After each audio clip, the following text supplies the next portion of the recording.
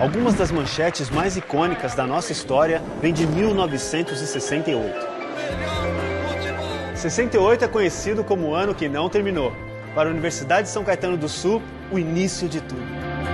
Ciências Econômicas e Ciências Políticas e Sociais. Dois cursos e uma premissa: o conhecimento transforma. 55 anos passaram muito depressa. E as marcas dessa trajetória se confundem com os avanços do próprio sistema de ensino do nosso país. Os dois cursos lá do início hoje passam de 50. Os primeiros formandos, cerca de 100, agora são milhares. A USCS é ensino, mas também pesquisa e extensão. Na maior pandemia da nossa história, trabalhamos para testar vacinas que salvaram vidas. A USCS é parceira da gestão pública. Exemplos disso são o recém-criado Hospital Veterinário Universitário Municipal, as várias clínicas de atendimento à saúde e os núcleos de apoio à comunidade. USCS, realizações no presente que transformam o futuro.